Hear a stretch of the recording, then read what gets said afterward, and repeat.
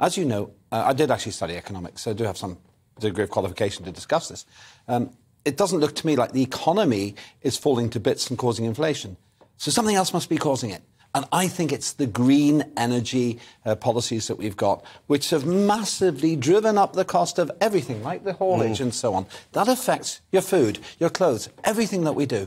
If we just got a handle on this insane Mm. mad dash for renewables, which we're paying for, mm. then I don't think we'd have the level of inflation. Why is the British economy doing so much worse than elsewhere? Because we've been bragging about being green. So I think we junk those environmental policies. Second thing we could do, if we really needed to, I don't think we would if we did what I've just described there. Mm-hmm. Second thing we could do is actually another big handout. We've proved that with the most socialist government in the history of Britain, namely the Conservatives at the moment, you can put hundreds of billions of pounds of debt on and not destroy things. But they had to. I mean, so really the, the debt that we're looking at is from the pandemic. Yeah. Otherwise, what would we have done? It would have been actually worse. So yeah. I don't know whether that matters what you're, whether you're socialist government government or capitalist government, that had to be but, done. But what I'm saying is, even if you're dubious about my environmental position here, and they shouldn't be, I, I, I make this point again.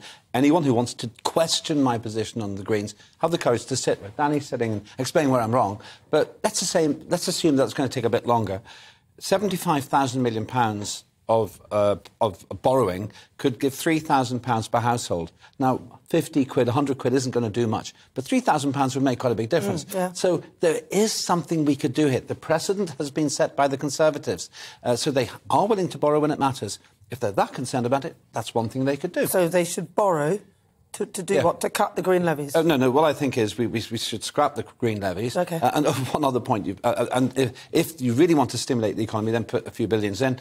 Uh, in terms of the, the, fuel, most of what we pay for our petrol and diesel is actually taxed. Forty-eight percent. Forty-eight percent. And, and Car, 26. You had Lewis Perry from yeah. Car 26 here. She came up with a good idea. I don't know if she said it on television. She suggests that the government says this is how much we'll take from fuel, and then we'll regulate the tax to make sure that it might be 37 billion. So they don't take windfall taxes because they're slamming the oil companies, but they're getting the windfall tax too. The government is. Well, Danny's laughing at you. I'm not. Have you lost him? No, lost. You lost. You know You're like on? the Duracell bunnies sometimes. I was wondering when you were going to come up for air. I'm sorry. No, no, no. I, I, I enjoyed it. I think Boris Johnson, a conservative policy, what he should do is say we're going to pause this 25% windfall tax yeah. because the evidence is that we want to start re-drilling in the mm-hmm. in the in the North Sea. Let's put some money back in people's pockets and see how that goes. And maybe you don't even need to cut the VAT. Let's just scrap the 25% because I think that's a vote winner. I, I really think, do. I think you're right. I think that's where we need to go.